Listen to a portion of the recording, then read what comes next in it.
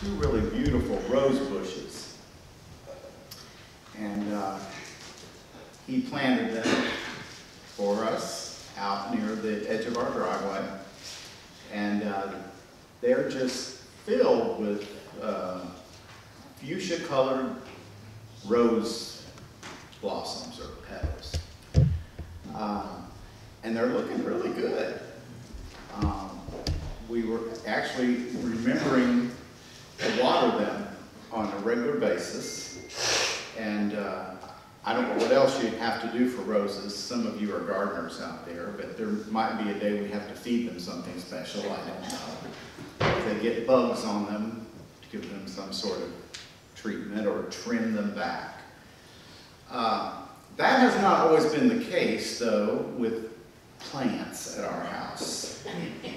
Uh, sometimes they start out so beautiful, and then they wither, and their blossoms all dry up and get brown and fall off. And, uh, and part of the reason that sometimes happens is that, and I'm not just blaming Jean, it's me too, we're not the, the best to remember to give those roses or plants or whatever they are what they need. Water, the right kind of level of sunshine, so, you know, um, and maybe trimmed from time to time. If we don't attend to our lives on a regular basis,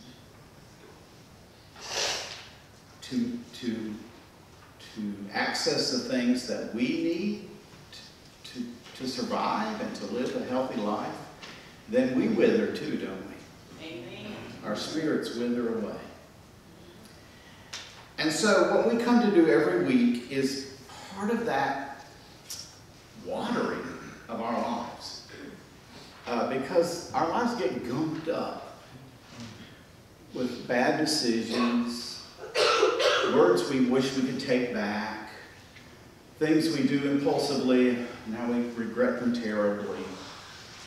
Uh, and, and sometimes those things happen over and over again over a period of time, and our, our, our lives can be completely uh, chaotic.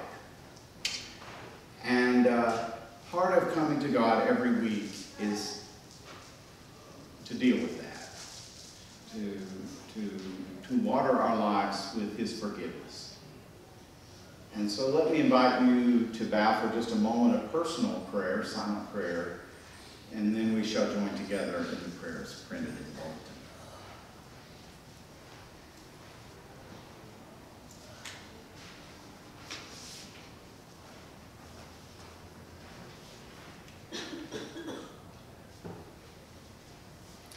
Let us pray together. In our ignorance, we have made bad decisions and made life difficult for those around us. In our willfulness, pursued goals that we know are evil and corrupting. In our foolishness, we have lost our way and blundered into situations that degrade. In our selfishness, we have withheld compassion from those who need it in our pig-headedness. We have clung to opinions and deeds that are unworthy. In our fickleness, we have betrayed the deep values of Christ for shallow pleasures. In our sinfulness, we have disappointed ourselves, those around us, and your Holy Spirit. Savior of the world, we open our hearts to your grace, mercy, and peace. Create a clean heart within us, loving God, and renew a healthy spirit within us. Through Christ our Redeemer. Amen. Family of God, Christ has not come to bind our mistakes and sins on us, but to loose the bonds and give us liberty. In his name I declare the forgiveness of sins and the life that is eternal. If Christ sets you free, then you are free indeed. Thanks be to God. Amen. Let me invite you to take your hymnals again.